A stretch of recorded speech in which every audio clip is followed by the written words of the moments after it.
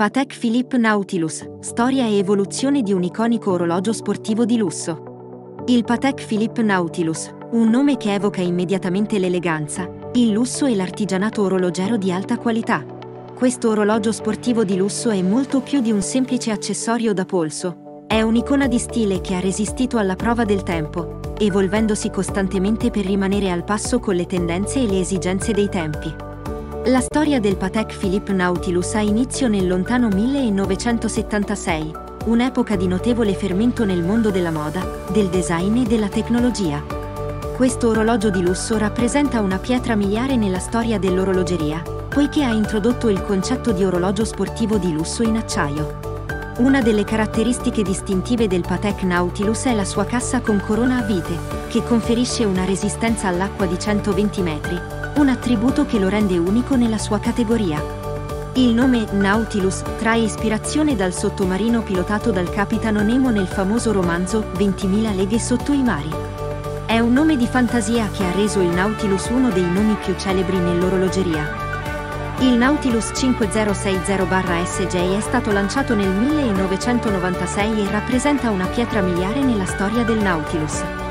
Sebbene fosse stato realizzato per celebrare il ventesimo anniversario del Patek Philippe Nautilus, ha segnato anche la nascita della famiglia di modelli Aquanaut. Questo modello era caratterizzato da una cassa in oro giallo, una larghezza di 35 mm e anse tradizionali. Questo orologio è diventato un oggetto altamente desiderabile per i collezionisti. Le referenze 3710 e 3711 hanno introdotto una nuova caratteristica significativa nel Nautilus, la riserva di carica, associata a un quadrante con numeri romani. Il Nautilus 3710 è stato prodotto dal 1998 al 2006 ed è il primo modello a introdurre questa complicazione. La cassa del 3711 ha mantenuto la vista sul fondello e presentava una cassa realizzata esclusivamente in oro bianco e un quadrante nero. Questo modello ha visto l'adozione del calibro automatico Patek 315S. Il Patek Philippe Nautilus 5711 è diventato l'epitome dell'orologio sportivo di lusso in acciaio. È stato lanciato nel 2006 e ha ereditato la costruzione in due parti della cassa ma ha introdotto alcune modifiche significative, come la larghezza di 42,5 mm a causa delle orecchie laterali.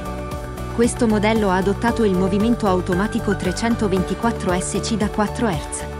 Negli anni, il Nautilus 5711 ha visto varie evoluzioni dei suoi movimenti.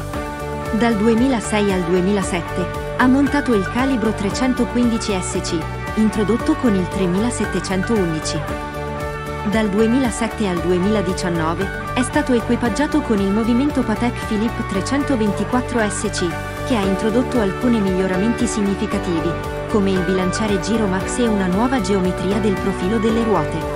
Negli ultimi due anni è stato introdotto il calibro Patek 26-330 SC, che ha aggiunto la funzione Hacking per una messa all'ora precisa.